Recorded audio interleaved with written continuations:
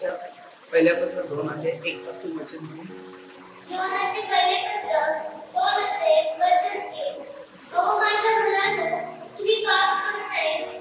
म्हणून हे मी तुम्हास लिहितो काय माझ्या मुलांनो तुम्ही पाप करू नये म्हणून मी हे तुम्हाला लिहितो जेवढे देवाचे सेवक लोक होते ते लोकांनी हे शिक्षण दिलं.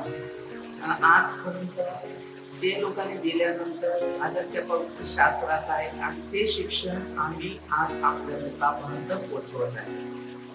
तर हे जगामध्ये सगळ्यात निराश दुःख आपत्ती आणि समस्या ते म्हणजे पाप. आता पाप नक्की आहे तरी कसं? शब्दापासून बोलण्यापासून विचारापासून. तर अनेक प्रश्न आहेत. आता माणसं प्रभूकडे येतात. आणि जर त्याचं वचन जे शिकवण ते नियम ते जर पाळलं नाही तर आम्ही मी प्रभूकडे आलेले लोक नाही. कारण का? प्रभूकडे येणाऱ्या लोकांना प्रभूच्या आज्ञानुसार चालावं लागते. एखादा मनुष्य एक वेल्डिंग कंपनी समजा काम करत आहे किंवा एक फर्निचर काम करत आहे तर जे फर्निचर वेल्डिंगचं समजणार नाही ना वेल्डिंग फर्निचरचं काम समजणार. ज्याच्याकडे काम आहे तेच. आता परदेशात असतात त्या लोकांना कुठल्या जॉब मधली विजा त्याला दिली जाते तो जॉब करायचा असतो. आणि तरी जर दुसरा जॉब केला तिथे तर त्याला पकडलं जाते. आणि त्याला परत पाठवलं जाते. तसंच प्रभूमध्ये आपण लोक आहोत. प्रभूमध्ये असणाऱ्यांना पाप जो कबूल करतो. तो परमेश्वराकडे ओळखतो. पाप धरून ठेवतो तू दुष्कृत्याकडे ओळखतो म्हणून दुष्कृत्य का आहे? पवित्र आत्मा का आहे? पवित्र आत्म्याच्या शिक्षणानुसार आपलं जीवन कसं आहे हे आपल्याला शिकायचं आहे. पाप करणारा देवाजवळ नसतो तो दुष्कृत्याकडे असतो. आणि जो दुष्कृत्य करतो देवाजवळ नसतो. कारण त्याला दुष्कृत्याची आवड आहे. त्याला चांगल्या गोष्टी आवडत नाही. ते चांगल्या गोष्टीकडे येऊ शकत नाही. म्हणून त्याच्या आहे.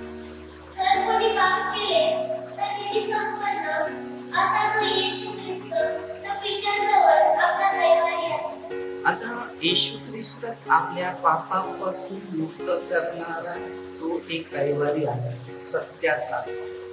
आता येशू ख्रिस्ताच्या द्वारे जर आपल्याला शिक्षण मिळालेलं आहे. तर येशू ख्रिस्ताच्या द्वारेच आपल्याला त्याचे मार्ग शिक्षण किंवा नियम मिळणार. पण जर येशू पासून जे शिक्षण नाही घेतलं तर दुष्कृत्याचं शिक्षण घेणार तोंडातून चुकीचे शब्द निघणार अंकात निघणार देश भावना निघणार वाईट गोष्टी निघणार. चांगल्या गोष्टी येणार कारण तरी चांगल्या गोष्टीकडे लक्ष पुरवलं. आज लोक चांगल्याकडे कमी आहेत का वाईटाकडे जास्त आहे चांगलं शिक्षण घेतलं नाही तर वाईटाचं शिक्षण घ्यायला मनुष्य ताबडतोब धावतो.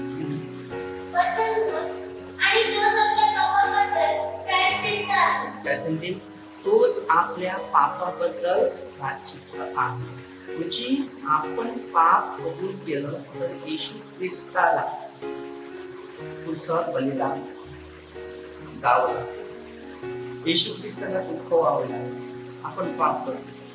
आणि जसं आपण पाप सोडतो किंवा प्रभूला येशू ख्रिस्ताला बरा आणि आनंद व शांती तर कारण माझी मुलं चांगली का आपण की जीवनामध्ये देवाबरोबर राहणाऱ्या लोकांनी फक्त एक विचार चांगला करायचा. जो चांगल्याकडे ओळखतो त्याला चांगलं मिळते. आणि जो वाईट ओळखतो त्याला वाईट म्हणून चांगलं आणि वाईट या दोन गोष्टीकडे आपल्याला बुद्धीचा वापर करायचा जेवायला बसली तर मटण खातो त्याची हाड आहेत ते खात म्हणजे जे दाताला चावणारी वस्तू ती आपण खातो टेस्टी आहे म्हणून समजतो. पण दाताला जर ते चावता येत नाही ते बाहेर टाकतो तसंच प्रभूच्या शिकवणात चांगलं आहे ते शरीरात घ्या वाईट आहे ते शरीराच्या बाहेर जे वाईट करतात ते प्रभूकडे येत. आणि जे चांगलं करतात ते प्रभूकडे येत. म्हणून आपण शिकायचं किती चांगलं आणि किती वाईट. चांगल्या गोष्टीकडे वळायला माणसाला मुश्किल होतं. याचा तुम्ही विचार करा आणि आपल्या जीवनात फक्त कोणीतरी सांगितलं ही व्यक्ती बरोबर नाही ते व्यक्ती बरोबर नाही. असं फक्त तुम्हाला सांगितलं नाही तुमची मन बदलली जाते. म्हणजे हे व्यक्ती चांगलं आहे ते व्यक्ती चांगलं आहे असं कोणी सांगितलं तर ती व्यक्ती तिची स्तुती करतो तर वाईट माणसं पाप कशी जास्त करतात? दुसऱ्यांच्या शिकवणानुसार. वाईट शिक्षण मनुष्य शरीरात जास्त घेतो आणि चांगलं शिक्षण मनुष्य शरीरात कमी होतो. म्हणून आज जगात चांगले गुण जास्त दिसत नाही. सगळीकडे वाईट गुण जास्त दिसतात म्हणून प्रभूचं वचन आपल्याला शिकवते. वाईटातून बाजूला हो. चांगल्याकडे वर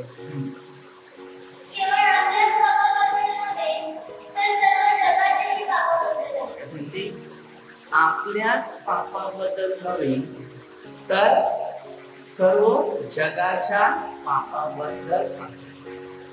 आता माणसं विचार करा.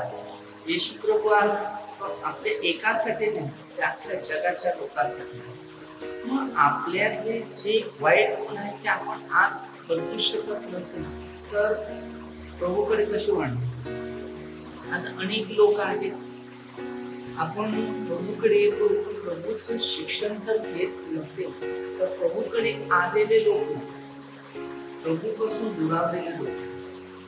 अनेक लोकांच्या शिक्षणाकडे मी अनुभव घेतले.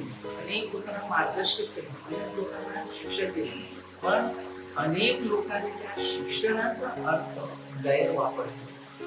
म्हणून चांगल्या गोष्टी लोकांना घेता येतात. म्हणून जेवढ्याला चांगलं शिकू येतं ते उलटच करतात. आज त्या काळामध्ये मी अनेक लोकांना इथे शिकवण देतो. ते शिक्षण लोक उलट ऐकतात. एक दिवस एक चुकीची दोन माणसं होती.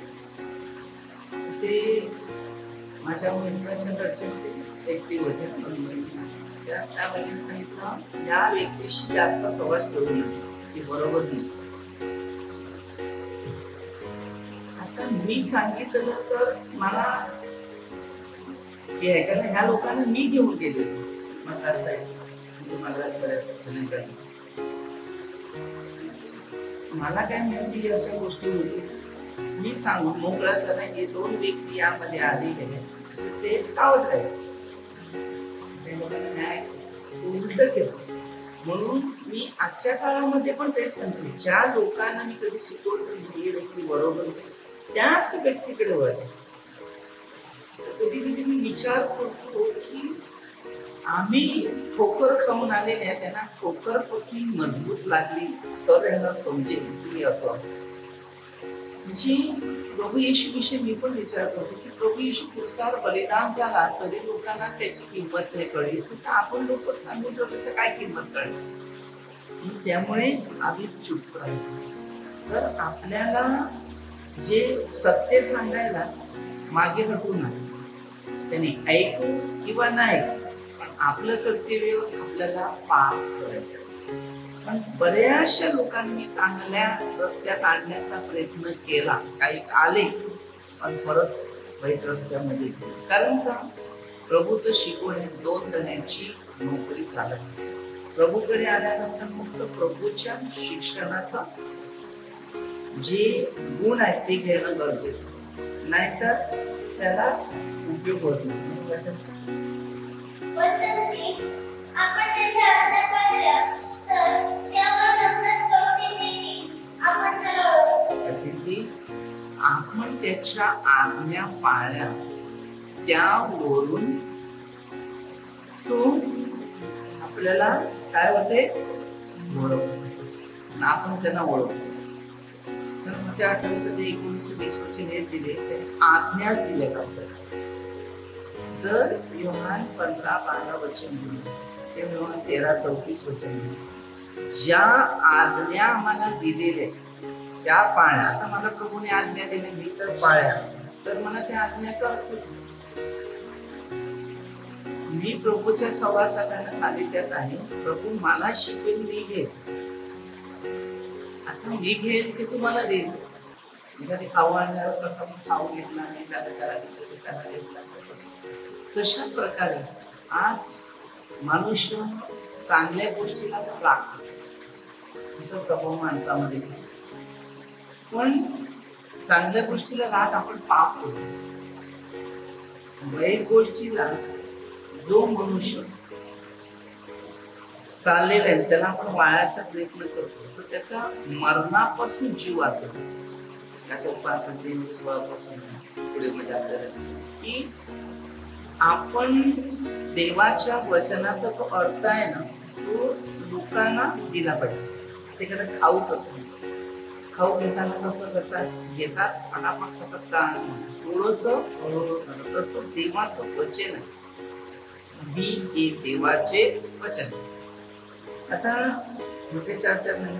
मनुष्यबळ भागले नव्हे तर परमेश्वरच्या मुखातून निघणाऱ्या प्रत्येक वचनात जगेल असा एक शास्त्र असा एक शासन कारण शास्त्रलेखाची गोष्टी कधी माणसाला मिळतात? जेव्हा तो देवाच्या आज्ञा पाळतो तेव्हा त्याला शास्त्रलेख समजतो.